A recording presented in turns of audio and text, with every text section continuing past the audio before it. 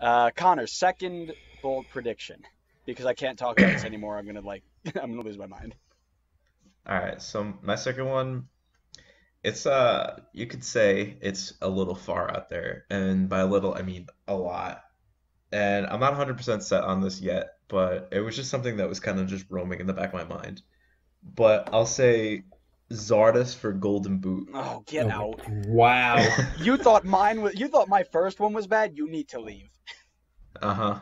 So uh I just feel like he's been a different player since he came to Columbus. I feel like he's kind of found a home and uh I mean he's got 33 goals in his two seasons there so far, which you know isn't obviously that wouldn't even that probably wouldn't even compete with Vela. But um you know, Zlatan's gone this year. Vela's second year, maybe there's somewhat of a sophomore slump. Maybe he's just not as interested this year. Um and I really like what they've done behind Zardes with the team, just picking up Nagbe, picking up uh, Zelarayan, and having Pedro Santos, and then possibly Luis Diaz or Youness Mokhtar. I just think that there's a lot of people that can give him the ball and like really put him into positions to score. And I feel like last year he kind of dipped off because there really wasn't anybody behind him to help him out. You know, Higuain really wasn't much of a uh, he didn't really have much of an influence He was last hurt year. all year, right? So I think, huh? He was hurt all year, right?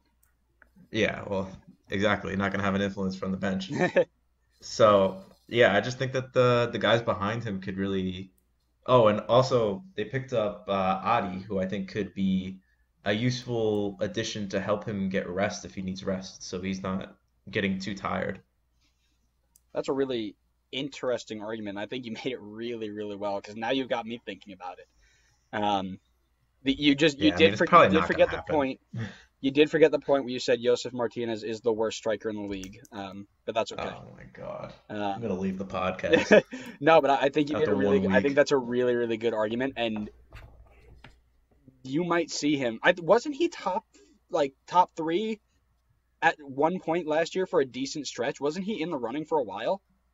Yeah, week one. Yeah, no, it might have been that year or the year before where he was he was up there for a while because I know I had him in my fantasy team for like weeks because he just kept scoring.